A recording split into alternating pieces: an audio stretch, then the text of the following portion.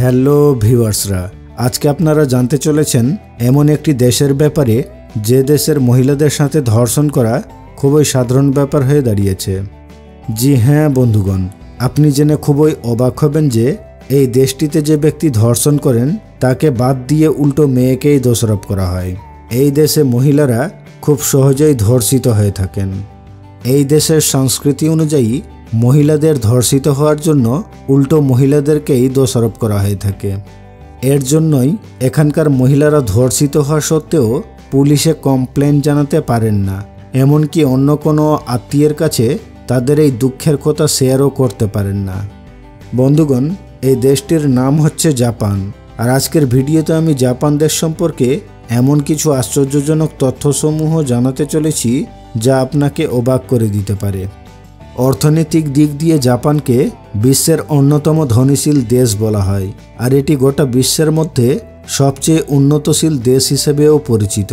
কিন্তু তবুও এই দেশটি ধর্ষণ কন্ট্রোলের দিক দিয়ে অনেকটাই পিছিয়ে রয়েছে।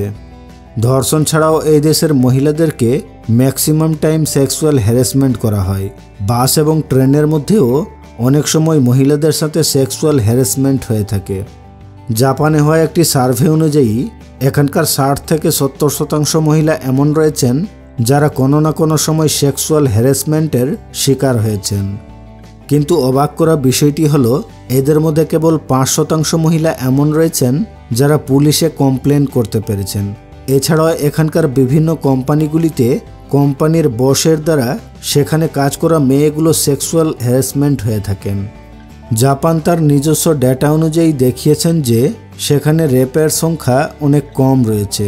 আসলে সেখানে রেপের সংখ্যা বিশ্বের অন্যান্য দেশের তুলনায় অনেক বেশি রয়েছে। যেহেতু সেখানে রেপের জন্য পুলিশে কমপ্লেন করা হয় না, তাই অভিযোগের পরিমাণ কম করে দেখানো হয়েছে। ধর্ষণ করা আসামিকে জাপানে খুব সহজে অ্যারেস্ট করা হয় না, আর ধর্ষণ করা উপযুক্ত ব্যক্তির অ্যারেস্ট করার পরিমাণও জাপানে অনেক কম রয়েছে। আর যদি কাউকে অ্যারেস্ট করেও নেওয়া হয়, তবে তাকে খুব সহজে শাস্তি দেওয়া হয় না এবং ম্যাক্সিমাম টাইম ধর্ষককে ছেড়ে দেওয়া হয়। উদাহরণস্বরূপ বলতে গেলে, যদি কোনো ব্যক্তিকে দোষী পাওয়া যায়, তবে তাকে জেলে না থাকার জন্য কেবল সরি বলতে হয় এবং কিছু টাকা পুলিশ অধিকারীকে ঘুষ দিতে হয়। তারপর এমনিতেই ওই রকম ব্যক্তিরা খুব সহজেই ছাড় পেয়ে যান।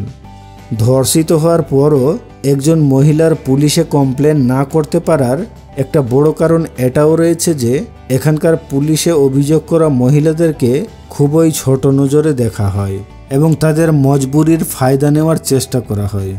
কয়েক বছর আগে জাপানের টোকিও ইউনিভার্সিটির ভিতরে কয়েকজন ছেলে মিলে মদ খাওয়ার নেশা অবস্থায় একটি মেয়েকে রেপ করে ফেলেছিল। আর এই মামলা যখন কোর্টে যায়, তখন জাপানের জাজ তাদেরকে শুধুমাত্র এই বলে ছেড়ে দেন যে, তোমাদেরকে লজ্জা হওয়া উচিত যে মদের নেশায় তোমরা এই ধরনের কাজ করেছ। আজকের দিনে জাপানবাসীরা এটার আবদার করে চলেছেন যে, জাপানের কানুনে পরিবর্তন আসা উচিত এবং ধর্ষণের মামলায় যাতে জাপানের কানুন আরও বেশি মজবুত হয়, তার জন্য জাপান সরকারকে পদক্ষেপ নেওয়া উচিত। কিন্তু একটি বড় প্রশ্ন এটাও রয়েছে যে দেশের কানুন তো বদলানো যাবে, কিন্তু দেশের সংস্কৃতি কীভাবে বদলানো যাবে? দেশের মানুষ এতটা শিক্ষিত হওয়া সত্ত্বেও আজও এই দেশের নারীদের বিভিন্ন লাঞ্ছনার শিকার হতে হচ্ছে। এটি সত্যি মানব সমাজে খুবই নিন্দনীয় বিষয়। মনে রাখবেন, আমাদের সমাজে নারীদের ভূমিকা অতুলনীয় রয়েছে। এদেরকে যদি সামান্যতম যন্ত্রণার শিকার হতে হয়, তবে মহান আল্লাহর কাছে আমরা পুরুষ সমাজ প্রত্যেকে দায়ী এবং লজ্জিত। কেননা একজন নারী পারেন একজন পুরুষ বাচ্চাকে দশ মাস দশ দিন নিজের গর্ভস্থলে ধরে রাখতে, যা পুরুষদের দ্বারা কখনোই সম্ভব নয়। তাই যে পুরুষরা আজ নারীর দিকে খারাপ চোখে দেখছেন, মনে রাখবেন আপনাকে জন্ম দেওয়া একজন ব্যক্তি কিন্তু নারীই ছিল। তাই প্রত্যেকে নারী হেনস্থার বিরুদ্ধে গর্জে উঠুন এবং নারীকে প্রাপ্ত সম্মান দেওয়ার জন্য সেই সমস্ত দেশের কাছে বার্তা পাঠান, যে দেশগুলো কেবল নামেই উন্নতশীল এবং ধনীশীল দেশ হিসেবে পরিচিত রয়েছে, যেখানে আজও নারীদের সাথে সেক্সুয়াল হ্যারাসমেন্ট করা হয় এবং প্রতি মুহূর্তে নারীদের ধর্ষণ করা হয়, যেখানে বিভিন্ন কারণে বিভিন্ন পরিস্থিতিতে মেয়েদের হেনস্থার শিকার হতে হয়।